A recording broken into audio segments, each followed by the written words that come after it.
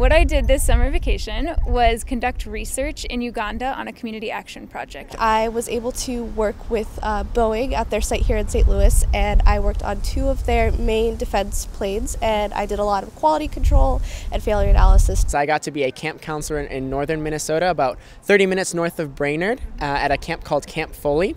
I was the leadership and counselor and training coordinator, so I got to work with a lot of 14 to 16 year olds specifically and help develop a lot of leadership skills as well as train them to be future counselors. I interned at an awesome educational nonprofit in San Francisco, California called 826 Valencia. Um, they do one on one and small group tutoring for under resourced public school students. I had a, a a research internship at the University of Kansas Cancer Center.